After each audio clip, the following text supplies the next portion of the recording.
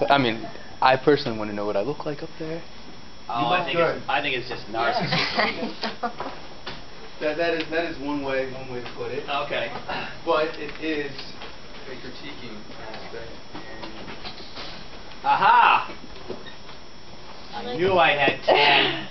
I love being asked, 'cause that's when I'm the most nervous. It- That's So it'll laugh? give, yeah, 'cause you anticipate going. Oh. That'll give me the best practice. Okay, let's go.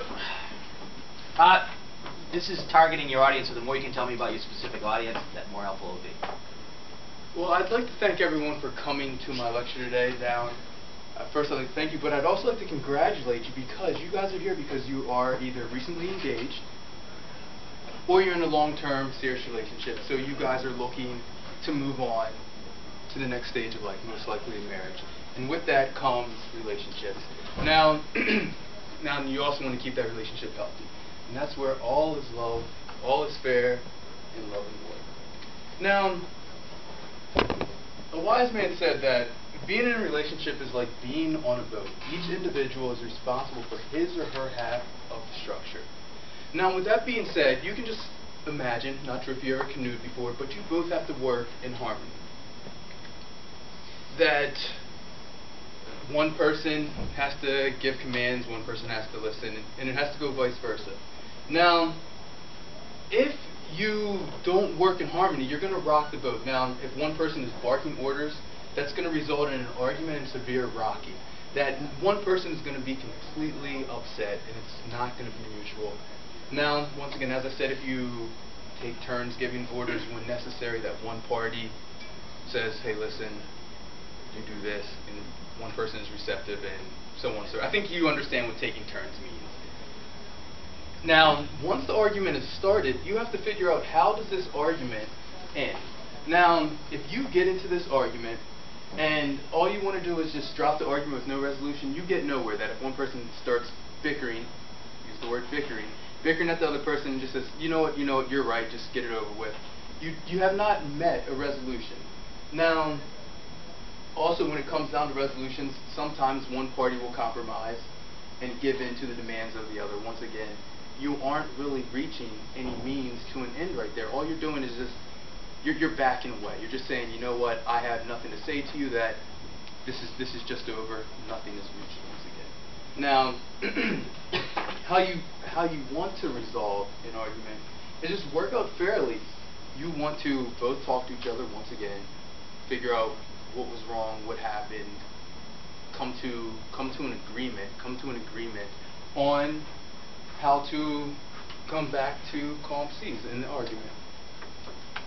Now, how this tests your relationship and the skills that are utilized when you are arguing is patience, active listening, and communication. Those are three skills that you definitely need, let it be in this relationship when you're going to get married, or just in your daily life. So this is everything. And as you look at this boat right here, I mean, you got you see how happy they are. You don't want to smack each other with the paddle. I'm just saying, in the long run, that that's not how you want your argument to be. That just just keep moving on calmly. Now, fighting in the art, fighting in a relationship is actually a healthy thing. Now, why is it healthy? Because it shows that each individual is comfortable enough to show their point of view. Now, like I said, that I'm not sure how long it took each of you guys to become engaged, but most likely you had to go through the honeymoon period where everyone was just on their best behavior, just doing whatever it was to keep you happy. And like I said, now when you start fighting, it shows that you actually are more comfortable with each other and letting each other know uh, the feelings, the feelings that you have, and everything that um, that irritates you. So now, now that you've decided, we'll use the word decided that you want to fight in this relationship, there's three rules that you have to deal with. Don't play the blame game. Say what you are thinking and feeling, and actively listen to your partner. Now, when it comes to not playing the blame game, the reason you don't want to do this is because when you start placing blame on someone, it's similar to throwing alcohol or gasoline on a fire. That really you are not going to to smolder, to smolder it with gasoline. It's just going to flare up even more. Now, with that flaring comes the spiking in anger, and it's going to lead to an, a myriad of unfair and exaggerated comments that I think many times people when you get upset, you say things that you might not mean, and um, and yes, that you're going to hurt the other person's feelings, and that's not going to be good. Now, when it comes to not blaming, what you need to do is express your own feelings. Use the words that I think, I feel. I think that you were wrong because of this. I feel that we need to do this together. And and don't use not don't use always and never that you always are doing this. You never are doing this. That once again you don't want to place blame on your significant other. Now, just remember that when you are placing blame, most likely you're at fault for something as well.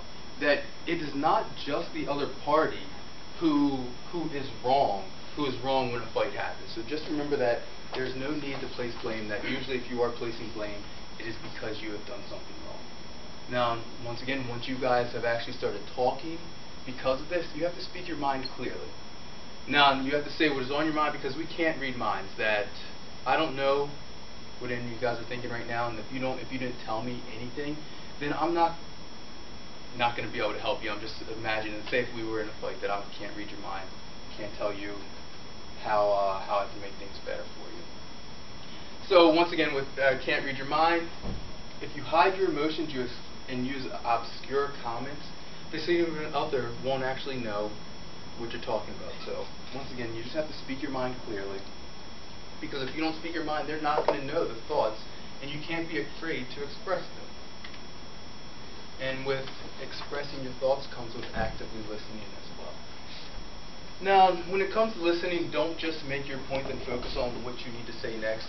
You have to say your point, listen to what the other person has to say to you, and just go back and forth. It has to be a two-way street. Take turns speaking and remaining on the same page with the person, your significant other. Now, once again, now you guys are engaged or you are in a serious relationship. The next biggest thing is living together before you're actually married. You have to decide if that's what you want to do. Now, there's many different reasons to live together or not to How much together. more you got, Louis? Um, I have a small part if I would love to wrap up right now.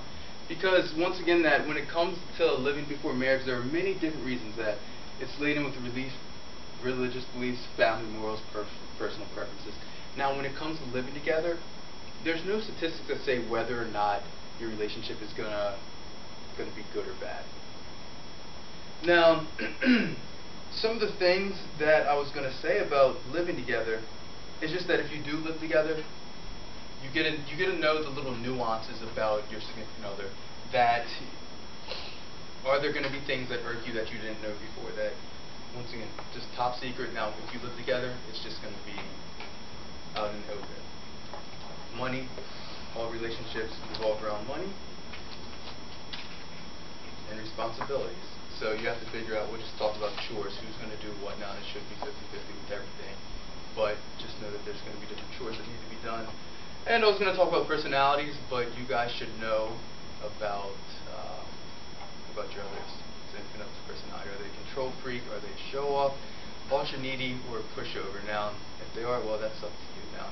With all that said, and I hope that I've been able to help you guys decide decide if you want to say I do or I don't when it comes down to it in the long run.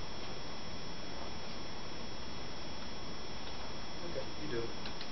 Okay. What made you think of this? Are you getting married? No, no, not at all. Um, You do counseling? No, not that either. Uh, let's see. I came up with this. I was just looking at articles. Actually, one of my friends she writes a column for for um, for a paper back in Delaware, and it was just interesting to me. So I went and pulled some of the topics that that she had and just uh, just did some research on it. Oh, okay. Well, I, I asked you because you were running nine minutes at that point. Oh. So if I, if you'd have gone the, the whole way through, we would have been talking 20 close. Yeah, yeah. That that honestly, when it when it comes to this, that I actually did not did not practice this, so I just came up with information and um and just made my slides, and this was my first run through, so I know. Oh, okay. Well, you had a couple of spelling mistakes. Uh, Wow. Confussion instead of confusion. Yes. One other one.